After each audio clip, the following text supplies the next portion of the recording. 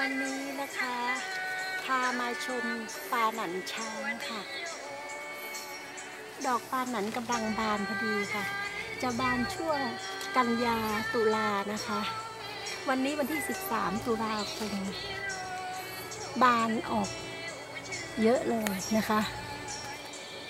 สวยมากๆเลยค่ะ ตอนแรกๆนะคะ ดอกจะออกมาเป็นสีเขียวๆนะคะ แล้วก็พอแก่ตัวมาก็จะสีเหลืองทองอร่ามเลยนะคะ หอมเย็นๆค่ะ ดอกปานันนี่นะคะปานันช้างเนี่ยเป็นวงเดียวกับกระดังงานะคะ ซึ่งกระดังงาเนี่ย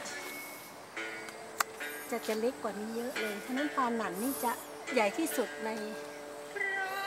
วงของกระดังงานะคะ กลีบของดอกดอกปานันนะคะ จะกว้างประมาณ 3 นิ้วนะคะ3ถึง5นิ้ว ยาวถึง 7 นิ้วค่ะ บางทีถ้าใหญ่มากๆนี่ถึง9นิ้วเลยนะคะ ใหญ่มากเลยนะคะ แล้วก็ดอกปานันเนี่ย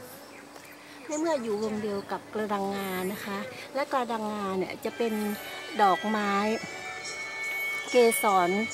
เกสรเจ็ดค่ะนะคะ เกสรเจ็ดนี่เป็นยาสมุนไพรนะคะ ที่บำรุงหัวใจนะคะเขาเรียกว่าพิกัดเกสรห้าเกสรเจ็ดแล้วก็เกสรเก้าเกสรห้าก็จะมีมะลิพิกุล บุญนาคสัพพีแล้วก็เกสรบัวหลวงนะคะ พอพิกัดเจ็ดเกสรเจ็ดก็จะเพิ่มมาอีกสองนะคะ ก็คือ จำปากับกระดังงานะคะ เพราะฉะนั้นปลาหนันช้างก็อยู่ในวงกระดังงา ก็จะเป็นยาสมุนไพรนะคะลดหอมเย็นบำรุงหัวใจนะคะ แล้วก็เกสรเก้าก็เพิ่มมาอีกสองก็คือลำลำเกียรติกับลำดวนนะคะ เป็นดอกไม้ไทยที่บำรุงหัวใจ และนักวิทยาศาสตร์ของไทยนะคะ ก็พิก็มาวิจัยปลาหนันจิ๋วปลาหนันช้างนะคะ วงปลาหนันนี่นะคะ พบว่า ดอกปลาหนันเนี่ย